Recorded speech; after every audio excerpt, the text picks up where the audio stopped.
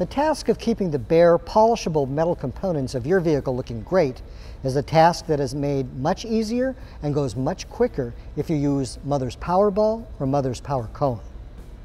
It's important to remember that when using power tools, always wear the proper safety equipment and eye protection to avoid injury.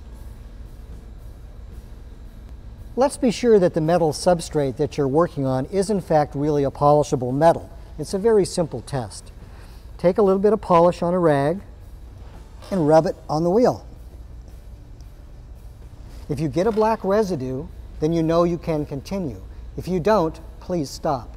It could be a coated wheel. Here I'm using Mothers Power Cone and Mothers Power Metal Liquid Polish.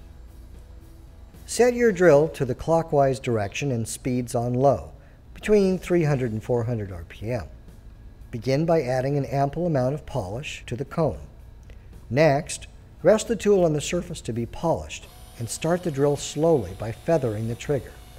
When a black buttery residue appears, begin working in all directions from your starting point until there's uniform coverage. As you continue, Add small amounts of polish as needed to create another starting point while maintaining a black buttery residue. Once an area is sufficiently polished and before the polish dries, gently remove the black residue with a clean microfiber towel. Make sure you turn the towel frequently. Work in small areas at a time until the entire wheel is polished.